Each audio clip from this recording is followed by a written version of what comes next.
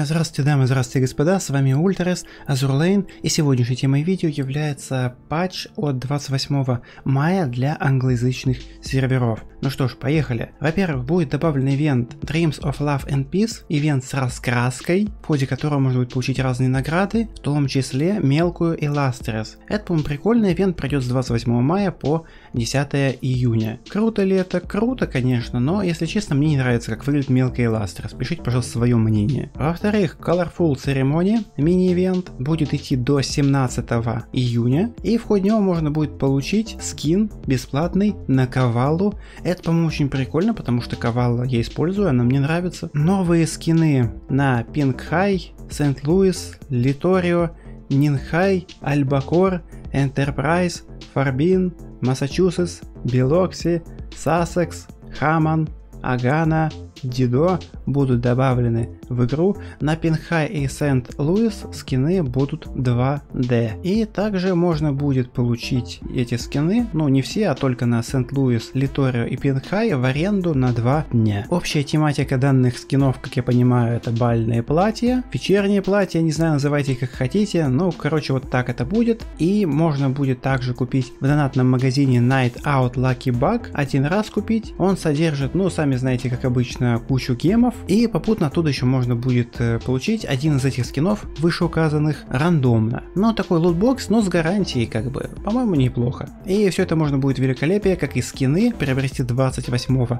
мая по 17 июня. Ребята, возрадуйтесь, радостная новость, Тоса наконец-то получает озвучку.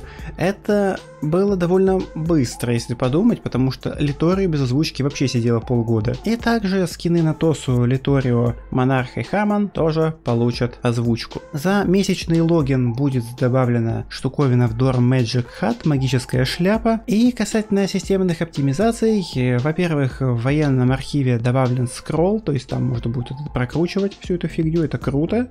И во-вторых, когда там, наверное, наберется много этих самых военных архивов. И во-вторых, более четко будет выглядеть зона поисковой зоны, ну или как их называют, охотничьих угодий, подводные лодки. То есть иногда бывает в некоторых картах не особо видно, где они там у нее заканчиваются, и приходится вглядываться. Разработчики решили это поправить, большое им спасибо, и это улучшение должно хорошо повлиять на игру, как мне кажется. И скины на Sirius, Matchless, Fiji, Swift Duke of York, Victorious, Sirius, Sheffield и Ямайку более недоступны, не заканчивают свою продажу.